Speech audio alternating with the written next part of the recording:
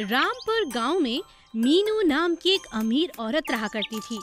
उसके पास बहुत बड़ा घर, बहुत सारे खेत और बहुत पैसा था। लेकिन उसने घर में कोई नौकर नहीं रखा था। वो सारा काम अपनी बहू से करवाती थी। उसकी बहू बहुत अच्छी थी। अरे ओ बहू, घर का काम अभी तक खत्म नहीं हुआ क्या? बस माँ जी, होने ही वाला है। दस साल हो गए तुझे इस घर में। तुझे अभी तक घर के तौर तरीके समझ नहीं आए।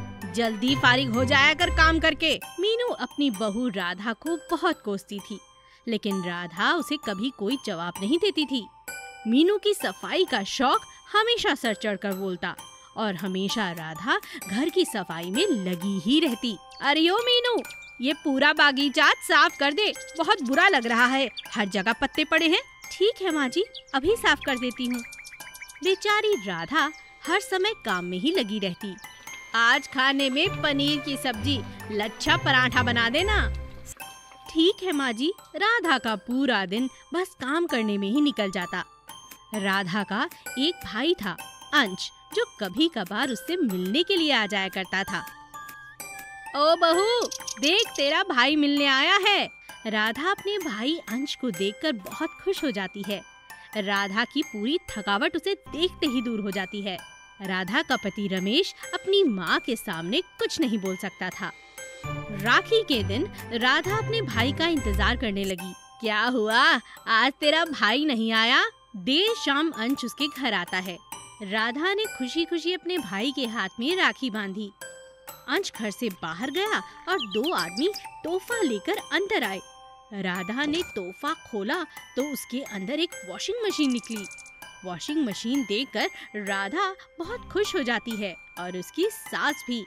अरे भाई, तूने बहुत अच्छा किया ये मशीन देकर। आधा काम निपट ही गया समझो। अब तो बस घर के बर्तन, घर का खाना ही बचा है।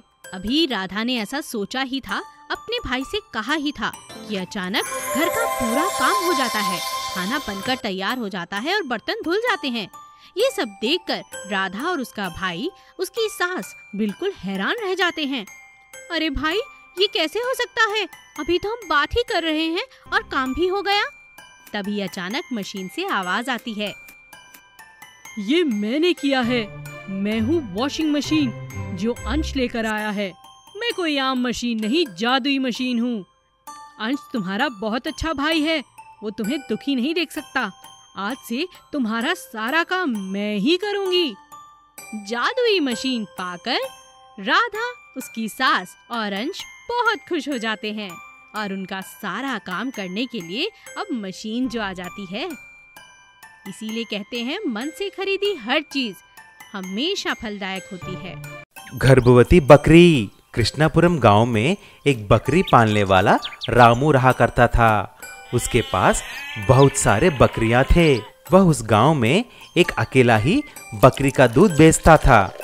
रामू रोज सुबह और शाम बकरियों को लेकर चराने पास ही एक जंगल में लेकर जाता था। रामू के पास एक बकरी थी, जिसका नाम सीता थी। सीता बहुत दिनों से उदास बेटी थी और कुछ खाती पीती नहीं थी। तभी रामू ने गाँव के वैद्य को बुलाया और सारी बात बोला, अरे वैद्य जी, मेरी सीता कुछ दिनों से कुछ खा भी नहीं रही है और उदास बेटी है। जरा देखो तो। ठीक है। मैं अभी देखता हूँ। अरे रामू, मुबारक हो। सीता अब गर्भवती है। इसीलिए वह उदास बेटी है। अगर तुम इसका देखभाल ठीक से करोगे तो वह फिर से अच्छी हो जाएगी। तब से रामू सीता की अच्छी देखभाल करने लगा। एक दिन जब रामू सभी बकरियों को लेकर चराने के लिए जंगल गया, तभी सीता घास की तलाश में कुछ दूर आगे निकल जाती है। रामू उसे बुलाता है, लेकिन वह बिना सुने आगे निकल जाती है। इतने में वहाँ पर बहुत ज़ोर से बारिश होने लगी। तभी रामू सभी बकरियों को लेकर घर आ जाता है।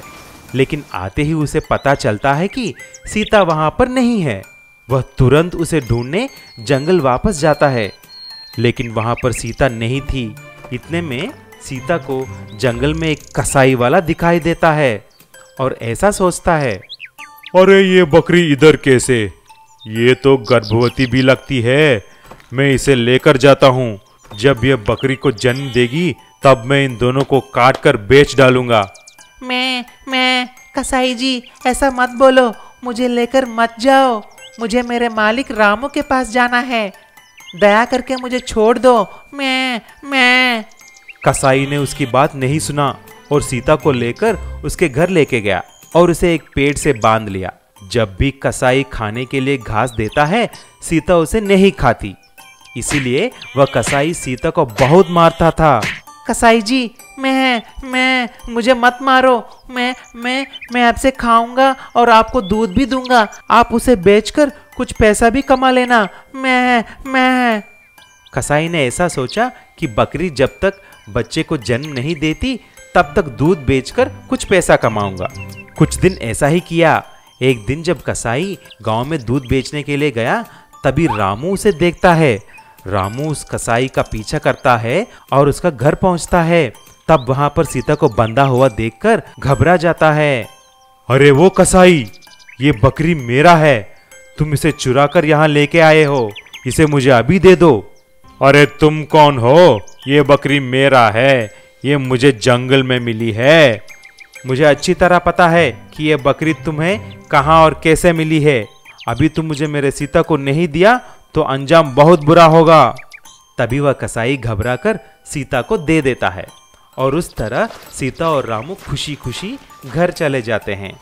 कुछ ही दिन में सीता एक सुंदर सी बकरी को जन्म देती है।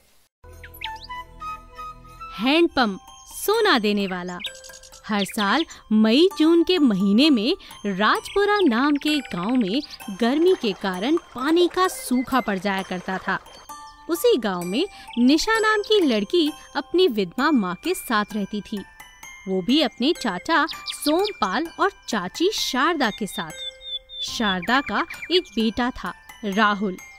शारदा निशा से अक्सर पानी के लिए लड़ाई करती थी। एक दिन उसने अपने पति सोमपाल से कहा, सुनो जी, आज ये निशा ने मुझे बहुत बुरा भला कहा। ये तो मेरा बेटा राहुल है जिसने मुझे बचाया। सोमपाल ने गुस्से में आकर निशा और उसकी माँ को घर से बाहर निकाल दिया। चाचा जी ये आप क्या कह रहे हो? हमें घर से मत निकालो हम कहाँ जाएँगे? तुम लोग यहाँ से बाहर निकलो। भैया तो मर चुके हैं। अब तुम लोगों की यहाँ पर कोई जगह नहीं है। निशा और उसकी माँ सरपंच के पास मदद के लिए जाते हैं। लेकिन उनके चाची शारदा सरपंच को पैसे देकर फैसला अपने हक में कर लेती है। और दोनों को गाँव छोड़कर जाना पड़ता है। माँ, अब हमारे पास यहाँ रहने की कोई जगह नहीं है। चलो, नानी के यहाँ चलते हैं। थोड़ी दूर चलने के बाद निशा की माँ गर्मी के कारण बेहोश हो जाती है। तभी निशा को एक हैंडपंप दिखाई देता है। थोड़ी देर हैंडपंप लगातार चलाने के बाद उसमें से पानी की जगह सोना निकलने लगता है। अरे, ये कैसा हैंडपंप है? मुझे पानी चाहिए। और ये सोना दे रहा है। निशा सोना इकट्ठा कर लेती है। तभी वहाँ से एक लड़का गुजरता है। सुनिए, मेरी माँ बेहोश हो गई है। मेरी मदद कीजिए। लड़का माँ और बेटी दोनों की मदद करता है। उन्हें अस्पताल तक ले जाता है। कुछ ही दिनों में निशा की माँ बिल्कुल पहले की तरह ठीक हो जाती है। माँ, अब हमें किसी के यहाँ रहने की ज़रूरत नहीं है। हमारे पास बहुत सारा सोना है। ये देखो। एक दिन राहुल निशा और उसकी माँ को बाज़ार में घूमते हुए देख लेता है और हैरान होता है कि उनके पास इतने पैसे कहाँ से आए। सोमपाल और राहुल निशा का पीछा करते हैं और निशा को हैंडपम्प से सोना निकालते हुए देख लेते हैं। बेटा राहुल, रात को आकर के हम सारा सोना निकाल लेंगे। लालची सोनपाल अपने बेटे और पत्नी के साथ जाकर रातों रात हैंडपंप से बहुत सा सोना लेकर घर पहुँचता है। लेकिन उनके घर में अचानक डकैती पड़ जाती है और सारा सोना चोर ले जाते हैं। वहाँ निशा को कोई फ़र्क नहीं पड़ता। हैंडपंप उसे लगातार सोना देता रहता है। वो अपनी माँ के साथ खुशी खुशी अपना जीवन जीती है और शादी कर लेती है। राजेश हर साल गर्मियों की छुट्टियों में अपने नाना नानी के पास आया करता था। एक दिन उसके नाना घर में बातें कर रहे थे।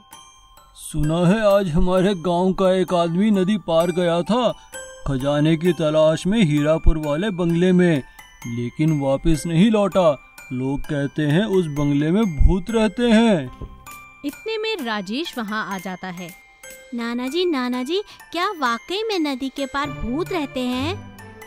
अरे नहीं बेटा, हमारे गाँव वाले ऐसा कहते हैं, तू अभी छोटा है, ये बातें नहीं समझता, पर तू कभी वहाँ मत जाना, ठीक है? थोड़े दिन बाद राजेश अपने घर शहर लौट जाता है। एक एक्सीडेंट में उसके माता पिता की मृत्यु हो जाती है और उसके नाना नानी अपने गाँव से वापस ले आते हैं। नाना नानी बहुत गरीब थे जैसे तैसे अपना घर चलाते थे, इसीलिए उसकी पढ़ाई का खर्चा नहीं उठा पा रहे थे। समय बीतता गया और राजेश बड़ा हो गया। एक दिन उसकी नानी ने कहा, बेटा राजेश, अब तुम शादी कर लो। यही हमारी अंतिम इच्छा है। राजेश की शादी हो जाती है और कुछ दिन बाद उसके नाना नानी का स्वर्गवास हो जाता है। अपने परिवार का पेट पालने के लिए वो नाव चलाता है। एक दिन वापसी के दौरान नदी के पार उसे एक चमकता हुआ घर दिखाई देता है। अरे क्या ये वही मायावी बंगला है जिसके बारे में नाना नानी कहते थे? लेकिन मैं तो रोज यहाँ से निकलता हूँ। ये मुझे आज ही क्यों दिखाई दिया? राजेश बंगले के अंदर जाता है। वहाँ उसे एक आवाज़ सुनाई देती है। तुम्हारा स्वागत है राजेश। मैं सोने का बंगला हूँ। अगर तुम इस बंगले में अपने घर की दस साल पुरानी कोई भी चीज़ लाओगे तो मैं उसे सोने में बदल दूँगा। अच्छा तो तुम ही हो वो मायावी बंगला।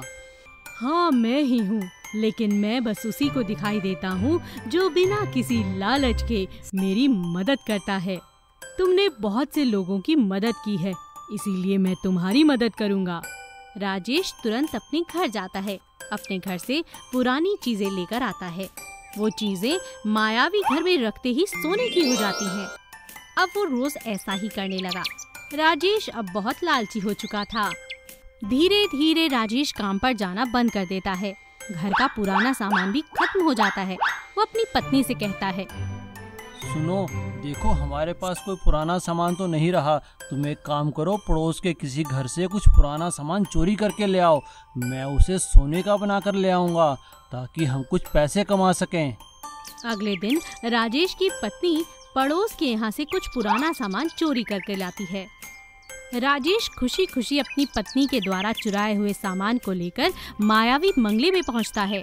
वहाँ पहुँचकर वो सामान रखता है, लेकिन सामान सोने का नहीं होता। मायावी बंगला कहता है, राजेश, अब तुम लालची हो चुके हो। आज तुमने और तुम्हारी पत्नी ने चोरी की। तुम्हारा मन अब मैला हो चुका है। अब तुम्हारे पास कुछ नहीं बचेगा। राजेश को अपनी गलती पर बहुत पछतावा होता है। इसीलिए कहते हैं लालच बुरी बला है।